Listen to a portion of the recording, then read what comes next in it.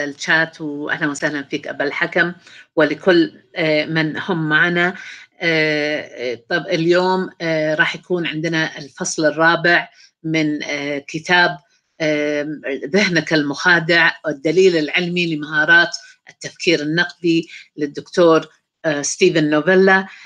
وطبعا اللي شافوا الحلقات الثلاثة اللي قبل لاحظوا أن أنا بدلت كلمة دماغك إلى كلمة ذهنك لأنها هي الأقرب إلى الترجمة الأصح يعني للمايند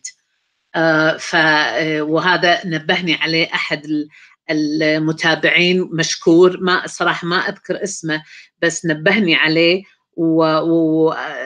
وأنا أرحب في كل تعليقاتكم وصدقوني كلها تضيف إلي ولا تنتقص مني فإذا عندكم أي شيء في ملاحظات أو حتى نقد أو أي شيء بالعكس هذا هو هذا اللي أنا قاعدة أحاول في خلال هذه الحلقات إني أبرز لكم وأبين لكم جمال النقد هو أنه يضيف للطرفين.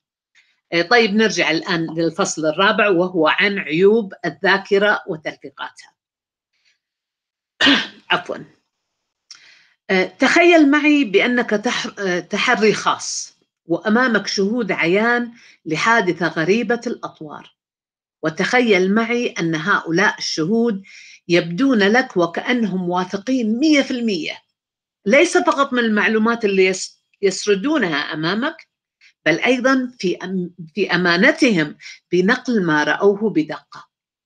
فالحادثة كما يؤكدون لك هي واحد واضحة جلية بكل تفاصيلها الدقيقة في أدمغتهم وكأنها لا زالت تحدث أمام أعينهم. وبغض النظر عن كون هذا الحادث متعلق بجريمة قتل أو سرقة أو حتى أي شيء غريب أو نادر نادر الحدوث مثل رؤية مركبات فضائية مثلا أو رؤية أرواح وأشباح أو جن أو بيكفوت أو أم من الغولة أو أبو رجل مسلوخة أو الطنطل أو أي شيء آخر من هذا القبيل. إلى أي مدى تستطيع أن تثق بشهادة هؤلاء الشهود؟ أيضا فكر معي لثانية واسترجع من ذاكرتك. أكثر ذكرى عزيزة على قلبك منذ كنت صغيرا في السن إلى الآن. هل أنت مستعد للمفاجأة؟ إذا جهز نفسك. على الأغلب أن كل الذكريات ما هي إلا شريط من الخيال. من هذه المقدمة الدراماتيكية يبدأ الكاتب الفصل الرابع من كتابه مؤكدا أنه يعلم أن أغلب الناس لا يحبون أن يعتقدوا أن ذاكرتهم ممكن أن لا تكون محل ثقه أو أن يكون بها عيوب لكن مهمته بهذه المحاضرة هي إقناعك بالكم الهائل مما تحمله ذاكرة البشر من العيوب. وكما هي البصيرة التي قام بسردها في الفصل السابق وتقدرون ترجعون لها في الفصل الثالث. فالذاكرة أيضا ليست جهاز تسجيل بريء من الأخطاء. أي أننا لا نملك أجهزة تسجيل في رؤوسنا تعمل بالضبط كما تعمل أجهزة التسجيل للفيديوهات. وذلك لأن ذكرياتنا برمتها ما هي إلا من تأليف أدمغتنا. وهي بالواقع جزء من قصصنا الذاتية المتصلة ببعضها البعض والمتأثرة بما نفكر وما نعتقد أو على النموذج الداخلي لنظرتنا للواقع حولنا. وللتوضيح أكثر يقوم الكاتب بتقسيم الذاكرة أو الذكريات بالدماغ إلى عدة أنواع. فعلى سبيل المثال توجد ذكريات قصيرة المدى أي التي لا تتعدى مدتها لدقائق معدودة من حدث جست حدث في الماضي يعني.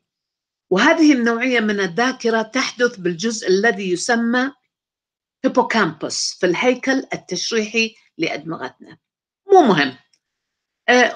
هناك ذكريات خاصة بالذاكرة العاملة وهي معنية بقدرتنا بالحفاظ على القليل من المعلومات في عقولنا لمدة زمنية أو مثل ما نسميها إحنا بالكمبيوتر مثل كاش ميموري آه، في عقولنا لمدة زمنية كافية لمعالجتها بطريقة ما.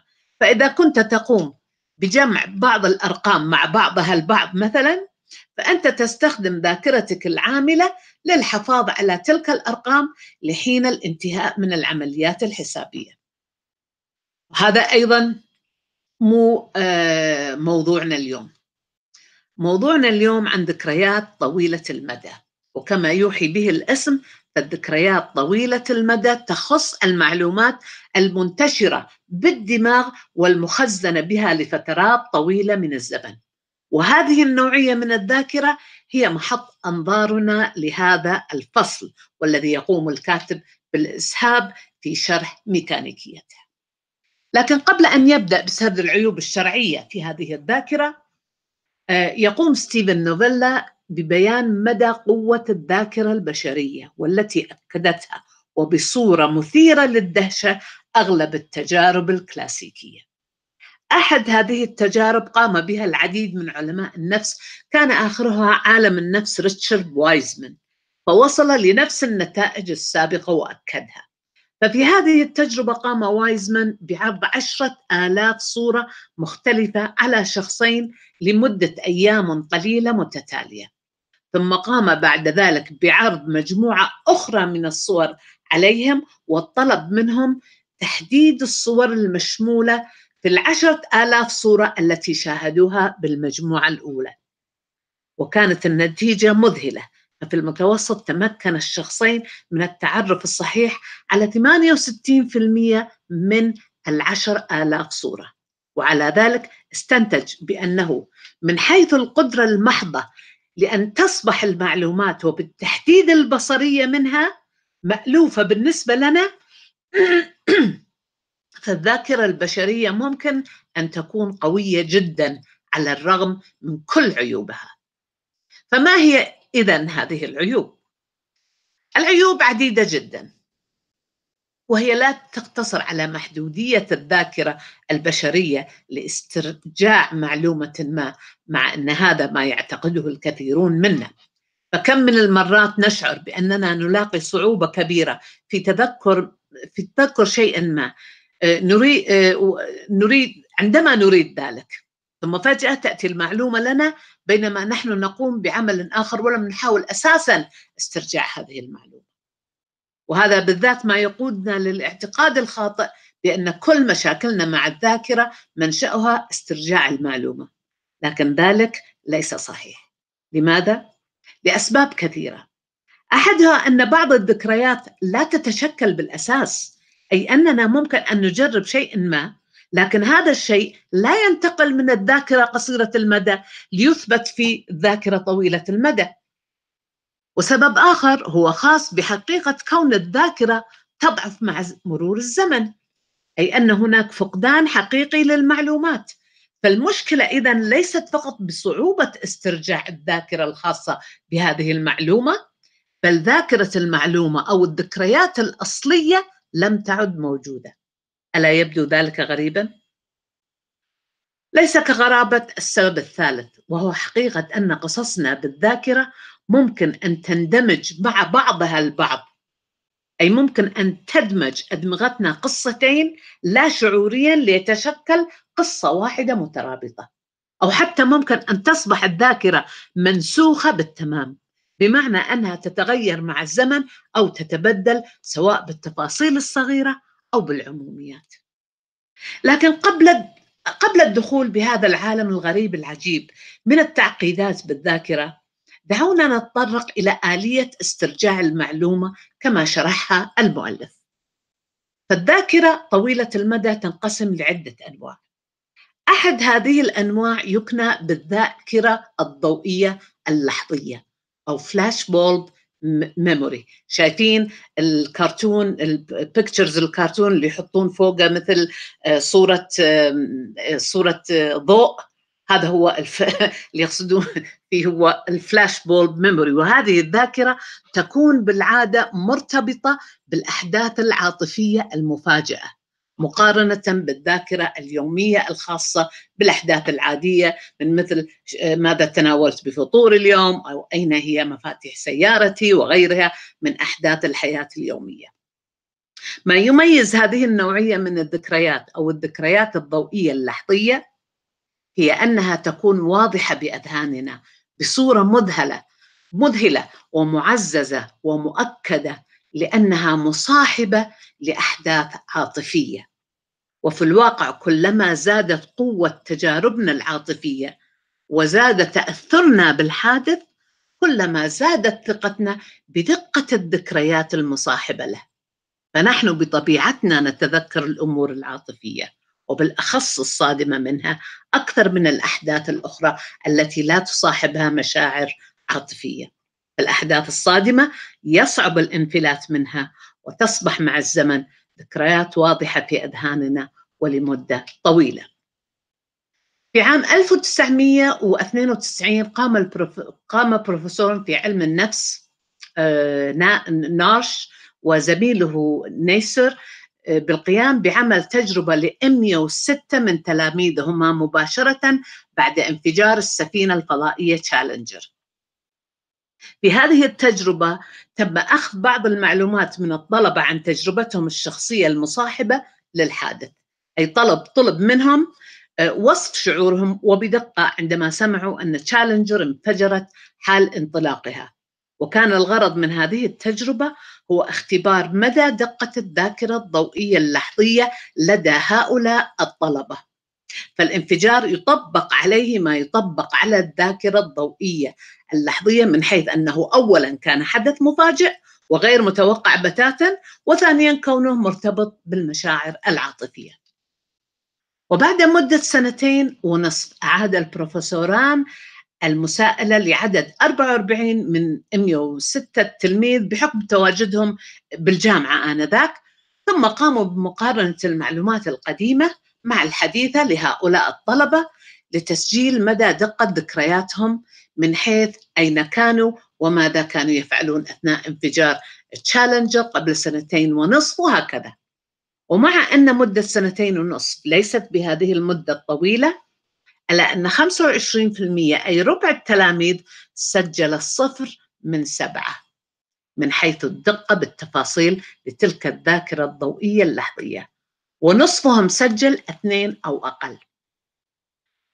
ما تم استنتاجه من هذه التجربة أن استرجاع الذاكرة وبصورة عامة لجميع أفراد المجموعة كان سيئا للغاية والتذكر لم يكن لكل أو لا شيء من الحادث أي لم يكن وكأن التلاميذ آه، تذكروا كل ما كانوا يفعلونه أو لا شيء منه بالمرة بل الأغلبية كانت لهم بعض الذكريات. لكنهم جميعا واجهوا صعوبات كبيرة عند تذكر التفاصيل. هذه النوعية من التجارب تم تكرارها مع الحادث الإرهابي على برجي التجارة العالمي بنيويورك في 11 9 2001 حيث قام كل من تالريكو وروبن بعمل استجواب مماثل لدراسة دقة الذاكرة الضوئية اللحظية. ووجدوا أن الدقة والتناسق سواء للذكريات اليومية أو للذكريات الضوئية اللحظية تضاعفت مع الزمن.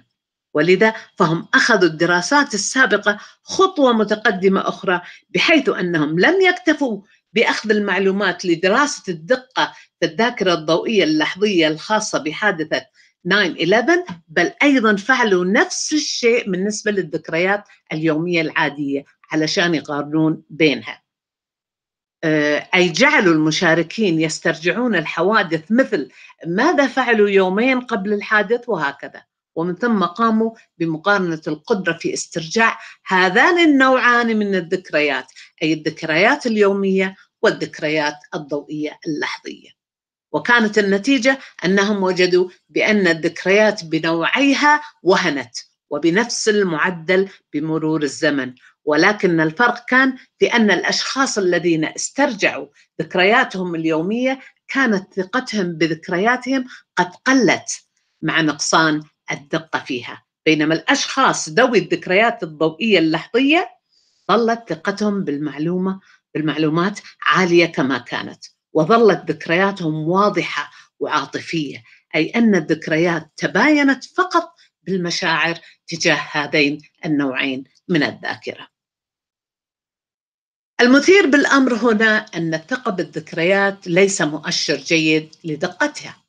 فنحن نفترض وبكل سذاجة بأنه طالما كنا واثقين جدا بالذكريات وشعرنا أنها واضحة بحيث نستطيع أن نسترجعها بكل سهولة فهذا يعني أنها لابد أن تكون دقيقة لكن الأبحاث التجريبية لا تساند هذا الافتراض والذين قاموا بالتجربة بالواقع غير متأكدون من سبب هذه الثقة الزائدة بهذه النوعية من الذكريات أو أين منشأها. أو بمعنى آخر تقييمنا بثقتنا بالذاكرة وعلاقته بكيفية تكوين هذه الذكريات بالمقام الأول هو أمر غير مؤكد إن كان ناتج بنفس العملية العصبية التي تتم فيها عملية التذكر أو أنها عملية عصبية أخرى بمكان آخر من الدماغ تقوم من خلالها بتقييم ذكرياتنا. وصحيح ان ان, أن تذكرنا للتفاصيل يزيدنا بالثقة فيها لكن الذاكرة الواضحة لهذه التفاصيل كما أسرف الكاتب لا يعني أنها الدقيقة. أنها دقيقة والاستنتاج النهائي لكل ذلك هو أن الذكريات الواضحة والتي تشعرنا بالثقة في دقتها هي بالواقع غير دقيقة بل قد تكون نسبة دقتها صفر من سبعة. الغريب بالأمر أنه في بعض التجارب الأخرى تبين أن كون الشيء مألوف يعني تعودت عليه لدى الشخص فهذا لا يزيد ثقته فيه لدرجة كبيرة مع أن بالعادة يكون أكثر دقة من الحالة المعروضة للذاكرة الضوئية اللحظية. وعليه فالنتيجة النهائية التي نخرج بها هي آه واحد أن الفه الشيء والتعود عليه قد يكون مؤشر جيد لقليل من الدقة بتفاصيله. بينما استرجاع المعلومة من الذاكرة عندما نشعر بأنها واضحة لا تكون في الواقع بتلك الدقة التي نعتقدها. أي أن الثقة بتذكر الشيء هذا ثانيا ليس مؤشر جيد لدقته أو لا يعني ذاك ذلك أن المعلومة دقيقة. ألا يبدو ذلك غريبا؟ وفي موضوع متصل بعدم علاقة الدقة بالثقة هنالك أيضا ما يسميه علماء النفس المتخصصين بالذاكرة باسم فقدان الذاكرة للمصدر أو source amnesia. فكم مرة قلت أو سمعت أحدهم يقول قرأت ذلك بمكان ما أو سمعته من شخص ما. لكن لا تسعفني الذاكرة حاليا للتأكد من المصدر. ثم يقوم بسرد التفاصيل لك عما قرأه أو سمعه واتبعوا بالتفصيل. وهذا يعني أننا لدينا ذاكرة ضعيفة جدا لتذكر مصدر المعلومة حتى لو كنا قادرين على استرجاع الاقتباس. ومن المثير للجدل عدم تكريس أدمغتنا للكثير من الموارد الخاصة بالذاكرة لكي ندرك مصدر المعلومة. والسبب غير مفهوم. فقد يكون سببه أن المصدر لم يكن ذات أهمية في آه، تطورنا وعملية بقائنا اليومي أو ما نسميه علميا بتطورنا البيئي. آه، أو آه، فالمعيشة بين القبائل البدائية بأفريقيا على سبيل المثال لم تكن تتطلب منا آه، ذكر المصادر عند إعطاء المعلومة أو أو الاقتباس لكن الآن وفي بيئتنا الحضارية الأكثر تعقيدا حيث نتعامل مع المصادر العديدة للمعلومات فنحن مطالبون بتقييم مصداقية معلوماتنا. هذه المعلومات لكي نقتبس شيئا مفيدا عن تلك المعلومة. ولذلك ففقدان الذاكرة للمصدر يعتبر مشكلة أساسية. فكونك سمعت شيئا ما من مكان ما لا يساعدنا كثيرا إن لم يكن لديك طريقة لتقييم مصداقيتها. أه، وشيء مشابه لفقدان الذاكرة للمصدر هو فقدان الذاكرة لكون المعلومة صحيحة أم لا. أه، فنحن نتذكر الادعاء بسهولة. أكبر من تذكرنا لحقيقة كون هذا الادعاء مبني على قصة حقيقية أم على خرافة. آه، هناك دراسة شهيرة لسكوميك ادو في 1900 sorry 2005 والتي بينت أن 27% من البالغين لم يميزوا إن كان التصريح المعروض عليهم قبل ثلاثة أيام فقط كان خبر صحيح أم مبني على إشاعة على الرغم من أنهم تم تنبيههم والإعلام بذلك في وقتها. يعني جمعوهم وقالوا لهم قصة معينة وقالوا لهم إذا كان القصة هذه إشاعة أو كانت قصة حقيقية.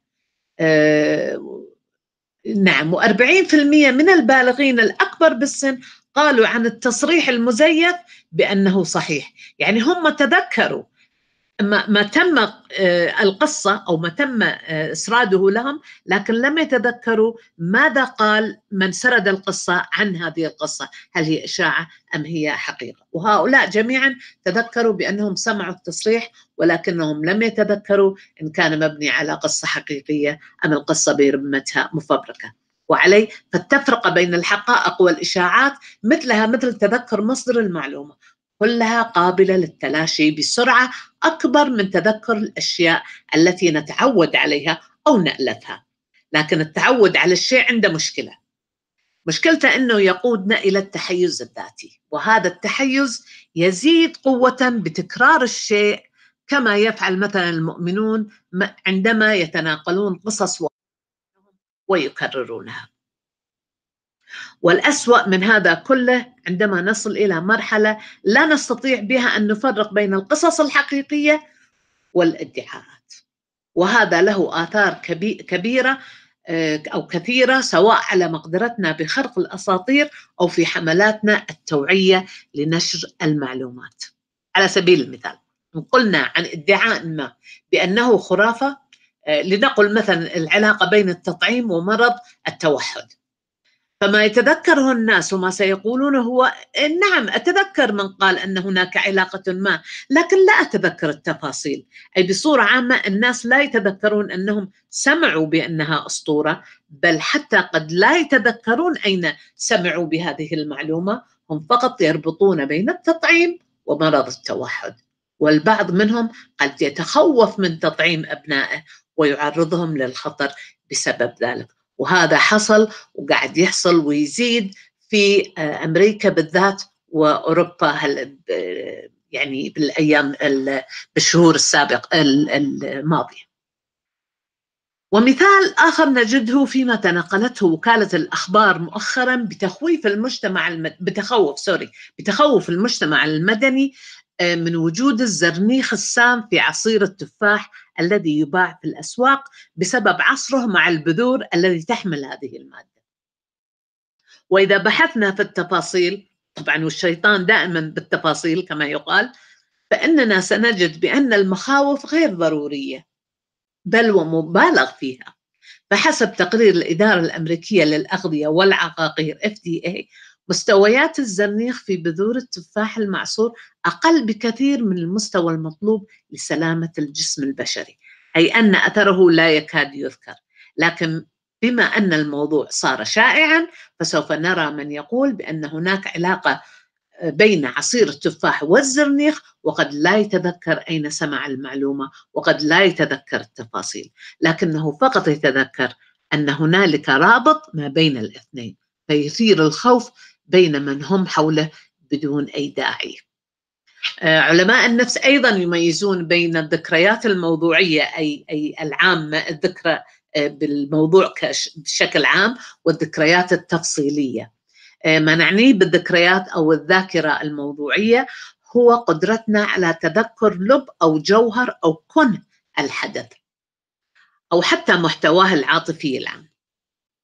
ومثال على ذلك ممكن أن نستقي من تاريخنا التطوري. فعندما تذهب لمكان ما وتتفاجأ بوجود حيوان مفترس فكل ما ستتذكره بالمرات القادمة هو أنك عندما كنت في تلك البقعة بالذات كان هناك شيء خطير أفزعك.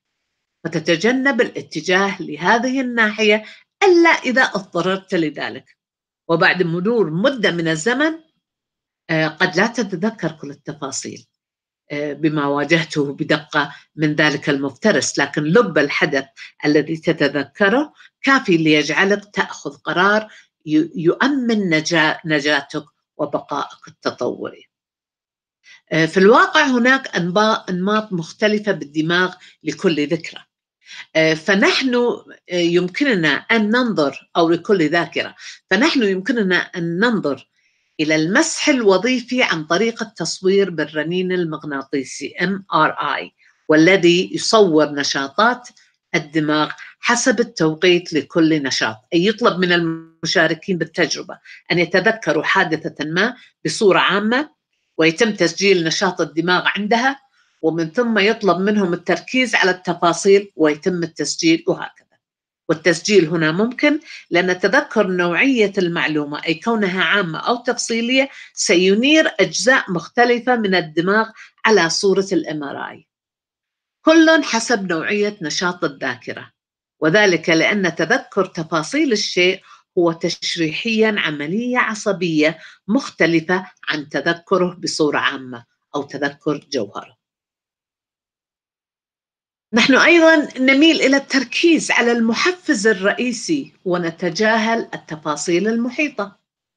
فمثلا يميل الشاهد لتذكر السلاح الذي كان يحمله المعتدي المزعوم ويتذكر التهديد لكنه لا يتذكر الأمور الأخرى. أي يميل إلى التركيز على التفاصيل التي تؤثر عليه عاطفيا.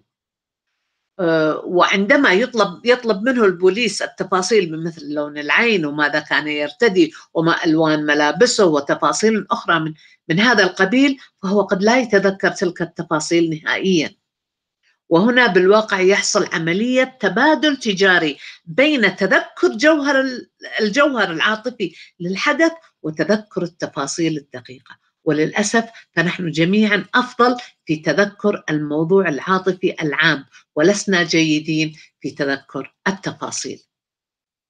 والوضع لا يقف عند هذا الحد وحسب بل هو أكثر سوءا من ذلك. فنحن جيدين جدا بتبديل هذه التفاصيل. وهذا يرجعنا لما ذكرناه سابقا بأن الذكريات ليست سلبية أو بريئة من التحوير. أي عندما تتذكر حدثا ما فأنت لا تقوم باسترجاع ذكرياتك عن هذا الحدث بل تقوم بإعادة بناء هذه الذكريات خلال استرجاعك لها. أنت تقوم بتطوير هذه الذكريات مع كل شيء تعلمته لاحقا منذ آخر مرة خزنت بها المعلومات عن هذه الذكريات. نحن نؤلف قصة في رؤوسنا عما حدث لنا بالماضي أو ما يحدث بالعالم. وهذه القصة تكون خطوطها العريضة أو محورها الرئيسي هو الجوهر العام للحدث مختلطا بالمشاعر. ونقوم بتبديل وتغيير التفاصيل حتى تتطابق حوادث القصة. آه، فإن تم تهديدنا بالسلاح مثلا فإننا سنبالغ بتذكر حجم المعتدي ونوعية التهديد. حتى يمكن أن نتذكر أنهم فعلوا أمور لم يفعلوها بالواقع وذلك لكي تكون هذه التفاصيل مطابقة عاطفيا لجوهر الذكريات التي نحملها. وعليه فالتفاصيل ليست فقط غير دقيقة لكنها أيضا تحيزية بالجوهر. فنحن نفبرك التفاصيل ونبدلها لكي نجعل القصة عاطفيا أكثر إثارة وتناسب حجم ما شعرناه. ومثال آخر من الأمثلة الممتازة عن تغير الذاكرة مع الزمن ومن القصص التي تم توثيقها بصورة جيدة هو شهادة جين هيل آه، لحادث اغتيال الرئيس الأمريكي السابق جون كينيدي.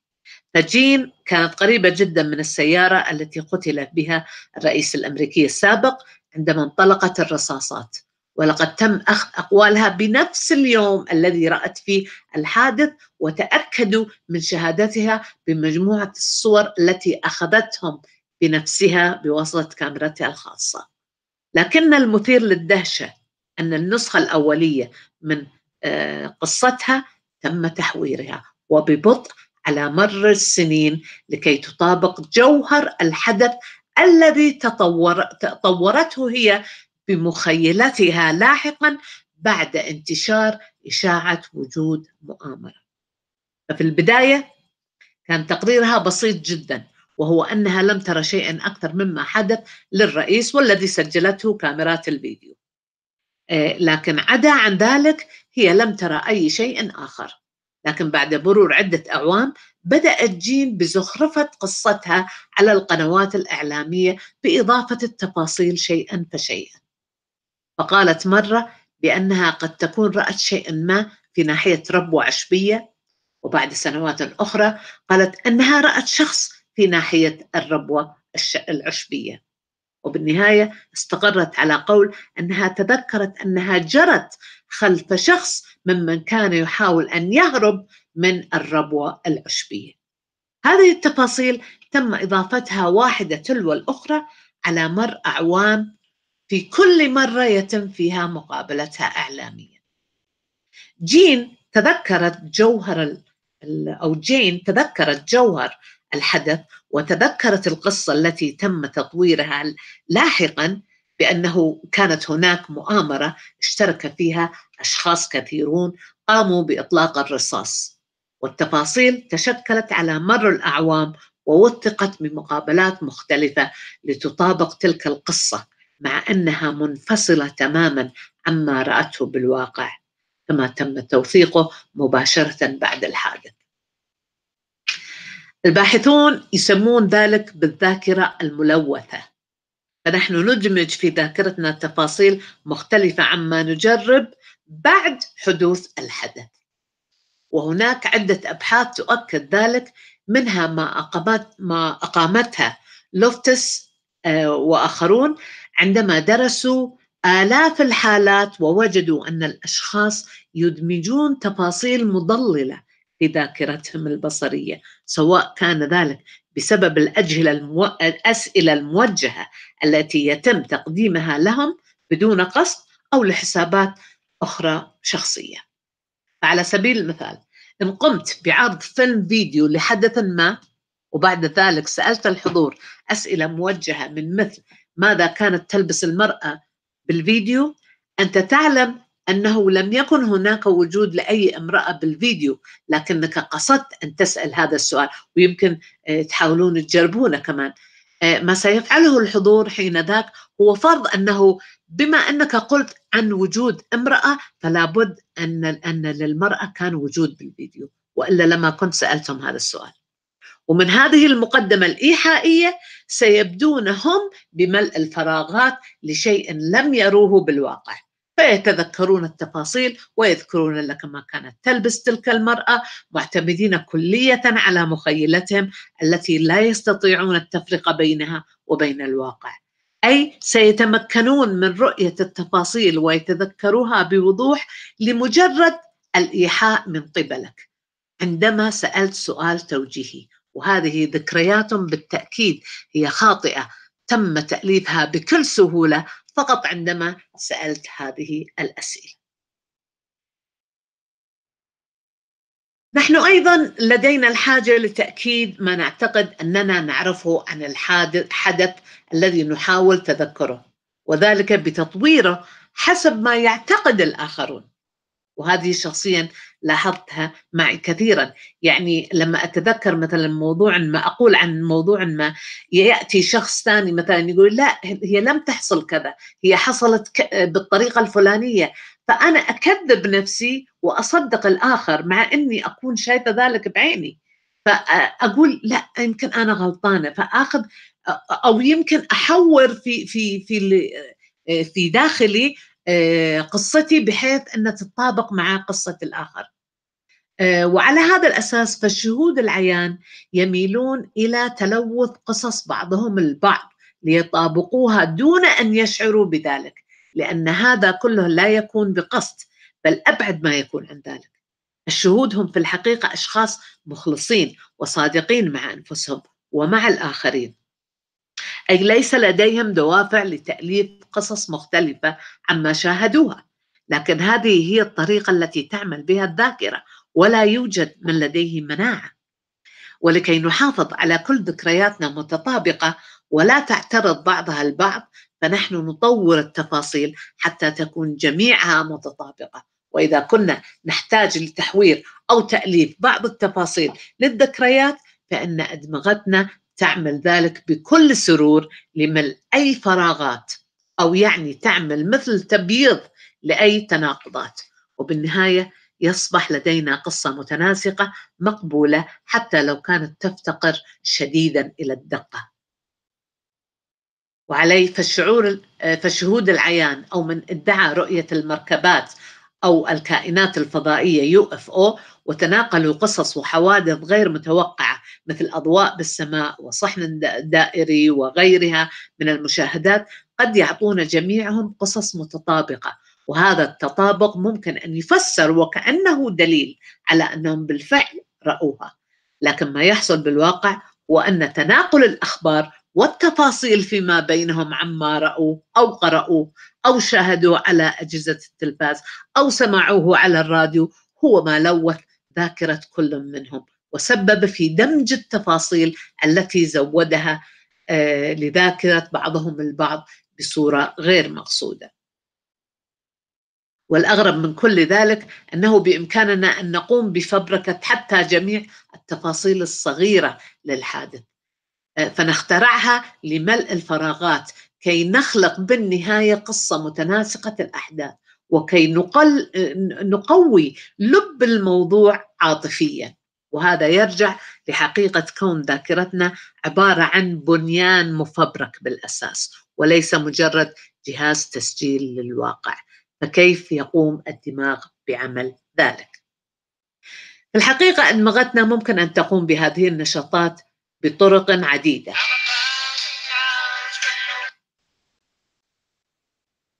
فعلى سبيل المثال وليس الحصر عندما يرف لنا جفن فإننا نفقد ثواني. عفوا مش عارفة ليش أنا حطيتها على واطي. أوكي. في الحقيقة أدمغتنا ممكن أن تقوم بهذه النشاطات بطرق عديدة.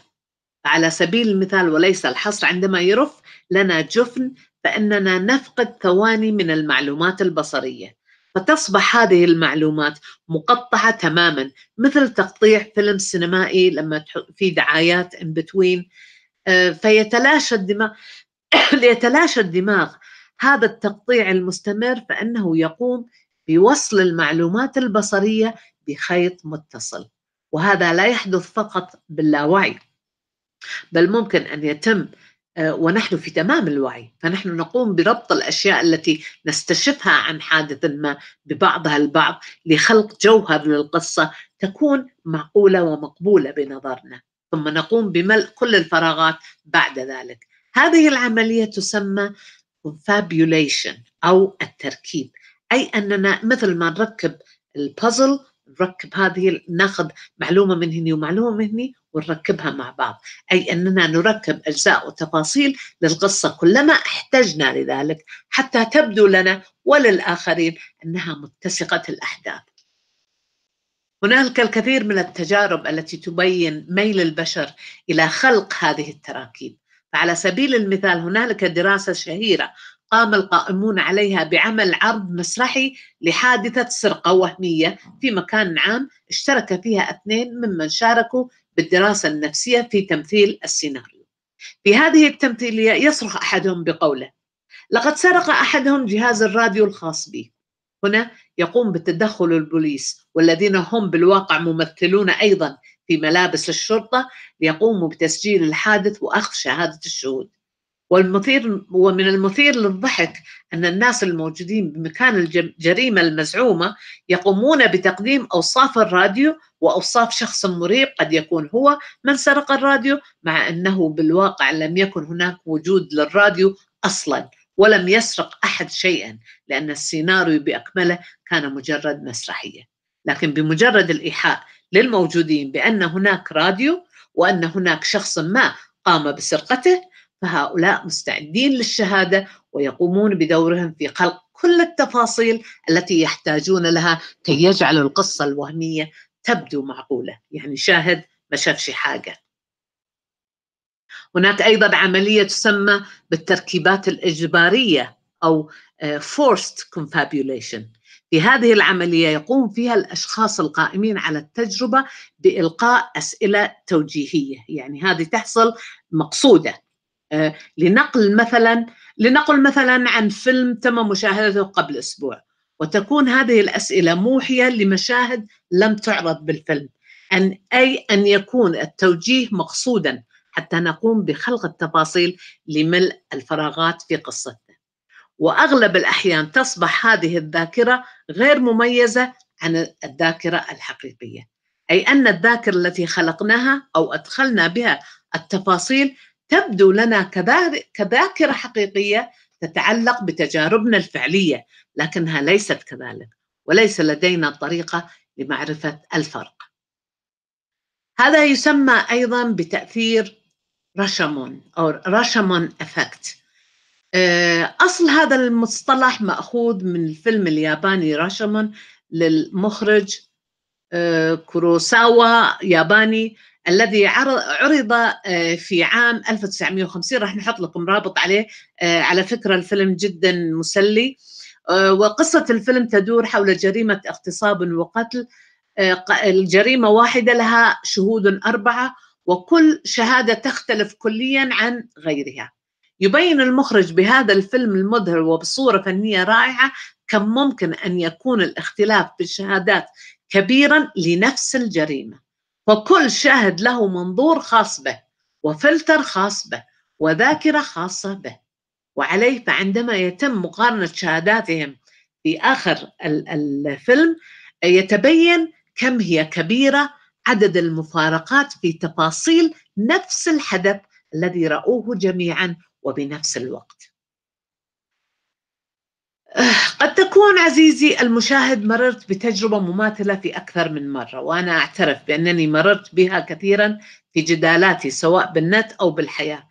فكم من المرات كنت في حوار أو جدالات ساخنة مع أحدهم لمدة ساعة أو نصف ساعة مثلا آه، بأمر اختلف اختلفتما عليه أو اختلفنا عليه ثم بعد ذلك عندما تهدأ الأمور وتقومون بمراجعة ومقارنة ما ذكرتموه كي ترجع المياه لمجاريها بينكما تصابا بالدهشة عندما تراجعان ذكرياتكما عن من قال ماذا.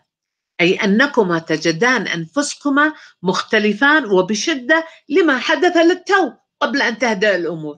وقد تقولون وقد تقول يا ليت كان لدي كاميرا لتسجيل ما حدث لأن ما يقوله الآخر الآن مختلف تماما عما حدث بيننا. لكنك بنفس الوقت غير واعي بأن ذاكرة كما هي ذاكر ذاكرتك كما هي ذاكرة الآخر وذاكرة كل من كان بالغرفة إنما هي ذاكرة انحيازية ومفبركة وبها عيوب.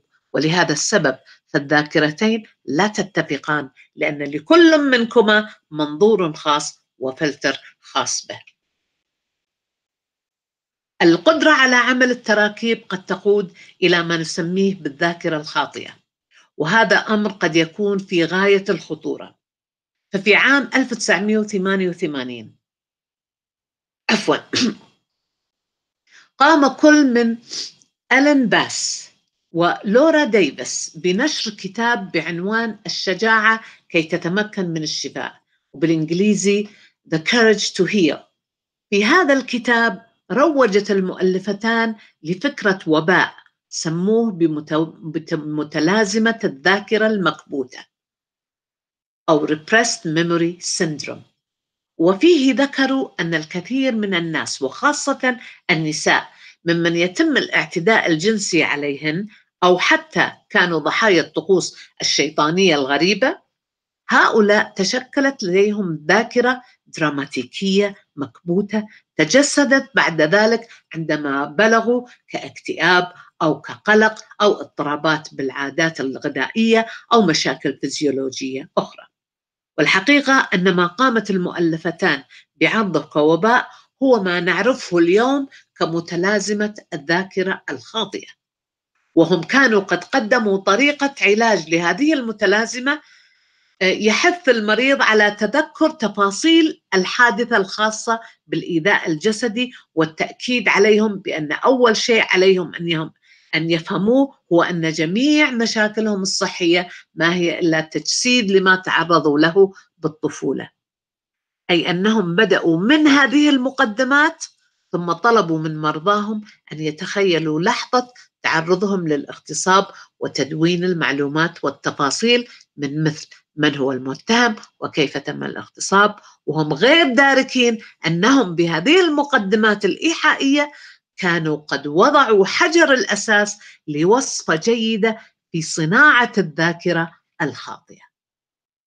وهذا قاد آلاف الحالات ممن تم علاجها بهذه الطريقة إلى أن تقوم بخلق ذكريات عن إساءات شديدة تعرضوا لها عندما كانوا أطفال بصورة يقينية وكأنها حقائق معتقدين أن ما يملكونه من ذاكرة متراكبة هي ذكريات حقيقية ليس ذلك وحسب بل أن هناك من تم الحكم عليهم بالسجن للقيام بجرائم لم يرتكبوها ولا دليل مادي عليهم غير ما تم تسميته بالذكريات المستردة أو بالأصح الذكريات الخاطئة.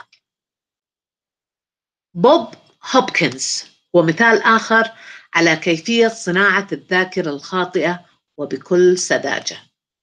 هوبكنز هو شخص يحترف الرسم وتحول بقدرة قادر إلى تحري خاص يفك رموز مدعي الاختطاف من قبل الكائنات الفضائية UFO وكانت تقنيته بالبحث هي استخدام التنويم المغناطيسي في مساءلة الأشخاص الذين شكوا في كونهم تم اختطافهم من قبل هذه الكائنات.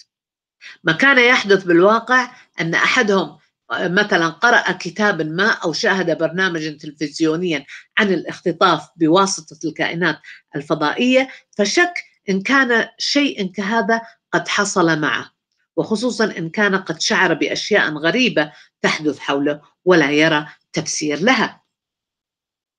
وعندها يضع هذا الشخص نفسه تحت رحمة شخص مثل بوب هوبكنز الذي يستخدم التنويم المغناطيسي كي يسترجع الذاكرة الخاصة باختطافه من قبل الكائنات الفضائية والتي يعتقد أنها مكبوتة جزئيا لسبب أو آخر. وتحت التنويم المغناطيسي يصبح الشخص في حالة كالطين قابلة لسهولة التأثير عليه.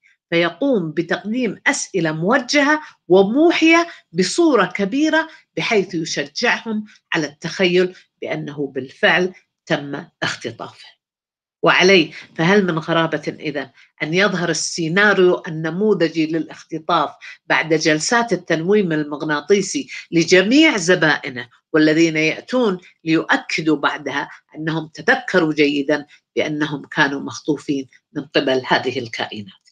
بينما في الحقيقة هي أن كل هؤلاء تعرضوا إلى شكل آخر أو آخر من الذاكرة الخاطئة. نعم من السهل جدا أن نقوم بخلق ذاكرة خاطئة وبإمكانك تجربة ذلك بنفسك، تستطيع مثلا أن تعطي رفاق رفاقك آه، قائمة بسيطة بأسماء ومن ثم تطلب منهم تذكرها مع الإحياء بموضوع ما يربط بين هذه الكلمات وبعد ذلك تريهم قائمة أخرى بها كلمات لم تكن موجودة بالقائمة الأولى لكنها تشبهها أو تشاركها بالموضوع العام فسوف تجد أنهم لخبطوا بين القائمتين. أو خليني أشرحها بطريقة أفضل يعني على سبيل المثال إذا أعطيتهم أسماء عشرة أنواع من الفاكهة يعني مثلا في القائمة الأولى وأسماء لعشرة أنواع أخرى من الفاكهة مختلفة تماما في القائمة الثانية وطلبت منهم تحديد بعض الأسماء المشتركة بالقام يعني طبعا الأولية شافوها وخذيتها منهم. وأعطيتهم الثانية وقلت لهم آه، شوفوا لي أي من ال من ال آه، الأسماء مشتركة بالقائمة الأولية اللي شفتوها. فهم قد يتذكرون رؤية بعض الفواكه من القائمة الثانية في القائمة الأولى مع إنها لم تكن موجودة. أي أدمغتهم هي التي خلقت تلك الكلمات في القائمة الأولى. لأن كلتا القائمتين مشتركين بالموضوع الأساسي واللي هو أنواع الفواكه. الإيحاء كان أنواع الفواكه لكن الفواكه اللي كانت في القائمة الأولى مختلفة عن القائمة الثانية. الأطفال على وجه الخصوص على فكرة هم معرضين للإيحاء والذاكرة الخاطئة أكثر من غيرهم. وهناك أيضا الضغط المجتمعي أو الاجتماعي والعوامل المحفزة الأخرى التي تجبرنا بأن نطابق آه، ذاكرتنا مع ما تم إيحاؤه لنا.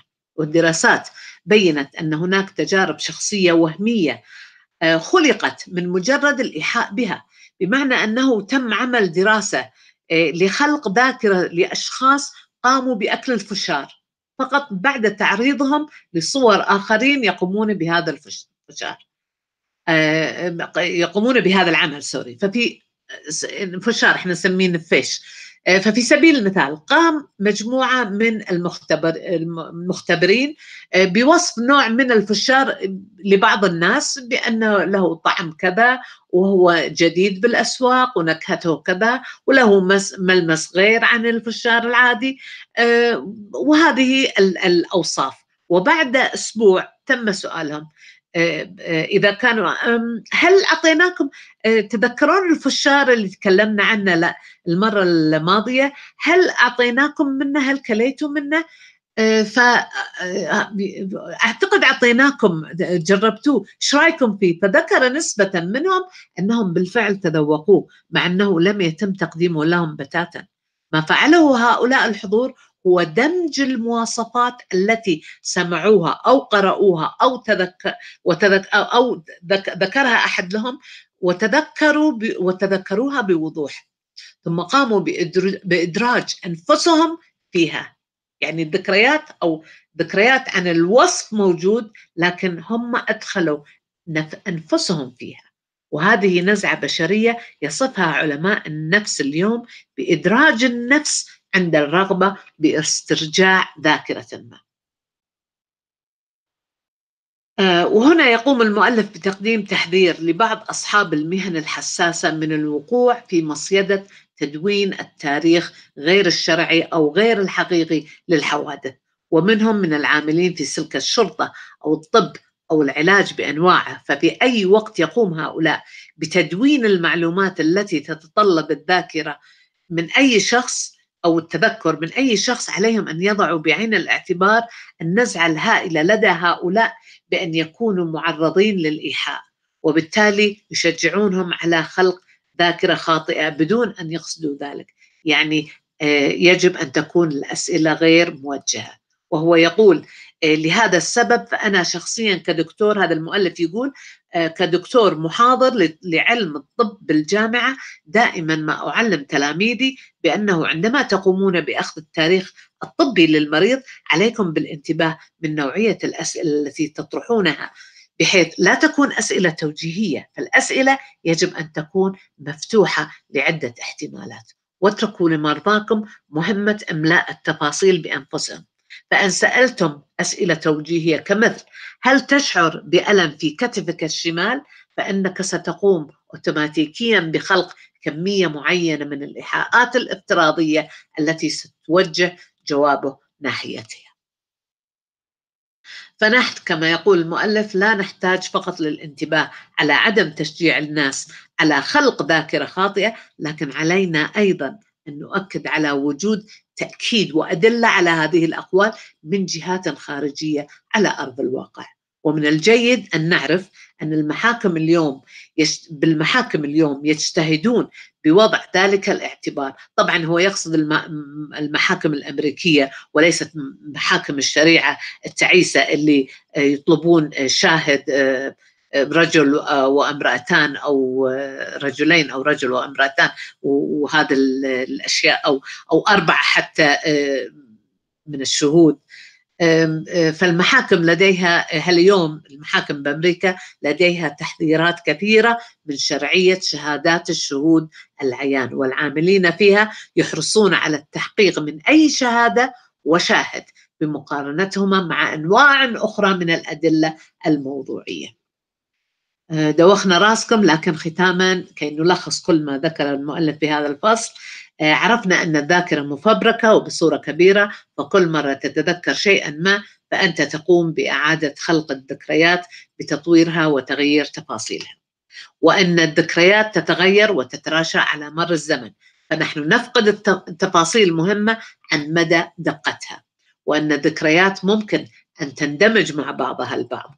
فنأخذ تفاصيل حادث ما ونلصقه بحادث آخر. وممكن أن تتحول الذكريات إلى قصص مختلفة تماما وخاصة بنا. آه، وأيضا نحن لن نستطيع أن نفرق بين الذكريات الحقيقية وتلك المفبركة أو الخاطئة. وثقتنا وهذا شيء مهم. ثقتنا بالذاكرة أو مدى وضوحها ليس مؤشر جيد لدقتها. يعني لا تقول لي والله أنا, أنا كنت هناك موجود وشفته بعيني أه وأتذكر جيدا وكأن الشيء قدام عيني يحصل الآن. أنت وثقتك بهذه الذاكرة ليس مؤشر جيد لدقتها. وبالنهاية فمن السذاجة بمكان أن تكون لدينا الثقة المطلقة في ذاكرتنا الشخصية وقد يكون الاعتراف بذلك مزعج بالنسبة لنا لكنها خطوة مهمة في محاولة أن نكون واقعيين ومعترفين ومدركين لمحدودية وعيوب الذاكرة البشرية. فهذا سيساعدنا على تجنب الاستنتاجات الخاطئة وعدم الشروع في النزاعات غير الضرورية أثناء مناقشاتنا. فكم من المرات دخلت في جدالات عقيمة مع أحدهم عن ذكرياتكم المختلفة عن نفس الحادث. علينا أن نفهم ونعترف بأنه وبدون وجود دليل موضوعي خارجي على الحدث بحيث يمكن عن طريقه تقييم مدى دقة الذاكرة فأنت لا تعلم مدى دقة ذاكرتك عنها. وعليه فإدراك عيوب الذاكرة هي خطوة مهمة في المضي برحلة التفكير النقدي الصحيح والذي هو لب وجوهر هذا الكتاب. في الحلقة القادمة آه، الموضوع راح يكون جدا آه، جميل وهو عن إدراك النماذج أو pattern recognition